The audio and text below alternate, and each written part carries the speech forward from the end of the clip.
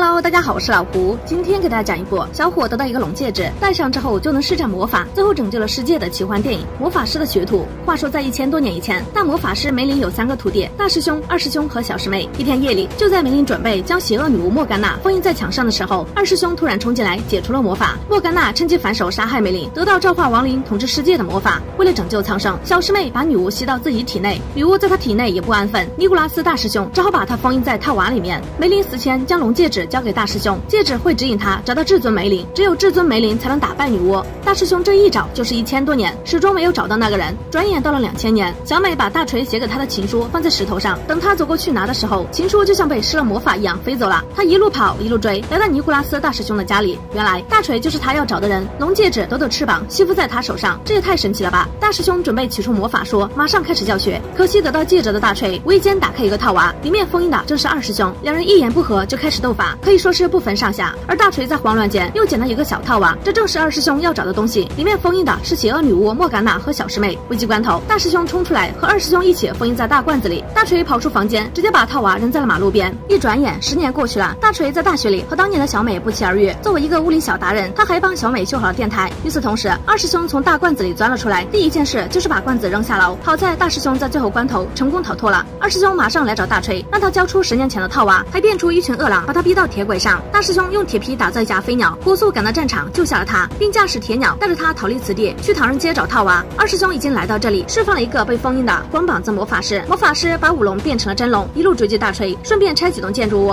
在大师兄的指导下，大锤用龙戒指施展了一点魔法，给了对方一点皮肉伤。最后还是靠大师兄亲自出手化解了危机。后来两人来到秘密实验室，大师兄把套娃隐藏起来，大锤正式拜师学艺。小小的一本书一变再变，竟然变得比大锤的脸还要大。师傅首先给他表演了一出“爱是一道光”，如此美妙。指引我们想要的未来，再来一波爱的魔力转圈圈，想你想到心花怒放，黑夜白天，大锤是彻底服了。接下来师傅开始教他搓个球球，这玩意儿倒是简单，三秒钟就学会了，关键是不好控制方向。学习之余，他还要忙着追求小美。他在地铁里用魔法教训一个抢劫犯，小美又对他多了一份好感。二师兄这边也没闲着，他找了个徒弟当帮手，徒弟当天就来洗手间找大锤切磋武艺。看大锤这表演，差点没把对方笑死。二师兄上来就逼大锤交出套娃，关键时刻还是师傅及时赶到，把两人都封印在一面镜子里，免费吸收。洗手间的酸爽味道。这天，大锤约会的时间就要到了，可是实验室乱成一团。大锤用魔法操控拖把帮他干活。等他洗漱完毕后，实验室已经泡在水里，拖把勤奋起来，连自己都怕。大锤叫他们停下来休息也不好使，积水越来越多，脚下的插座被吓得哇哇哭。他去关水龙头，还遭到拖把的背后袭击，说出来都没有人相信。大锤竟然干不过拖把。小美来到门口，拖把还在忙着在背后使坏。大锤让小美赶紧离开，他要和拖把打一架，可是他根本不是对手，差点就被电死。多亏师傅果及时出手，吸干了地上的水。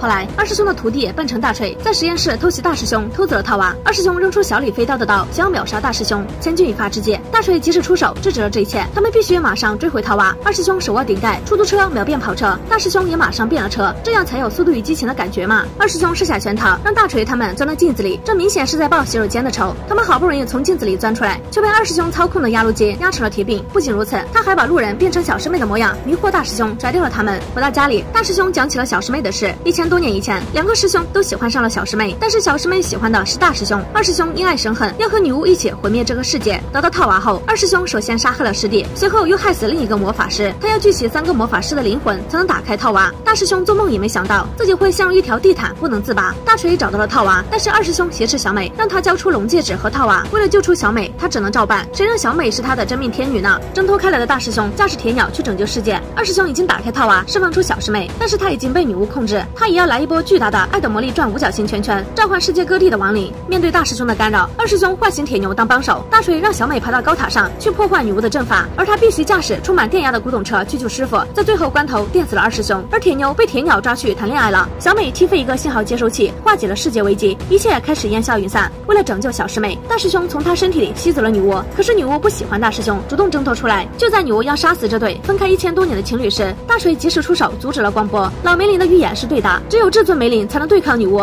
他开始不断搓出球球发动攻击，可是根本没有杀伤力，反倒是被女巫打到节节败退。好在他不是一个人在战斗，他还有一点点小科技。在魔法的控制下，大锤用电光把女巫锁起来，随后不断搓出球球，火力全开。女巫非常后悔当初没有把物理学好，现在才会死在一个毛孩子的手里。电影的最后，大锤用心电复苏救活师傅，小师妹等了一千多年，终于等来大师兄的拥抱。大锤和小美也没羞没臊的生活在一起。这部美国奇幻片名叫《魔法师的学徒》，电影告诉。我们，真爱的力量能够拯救世界。喜欢这部电影的小伙伴，记得点赞、转发、关注哦。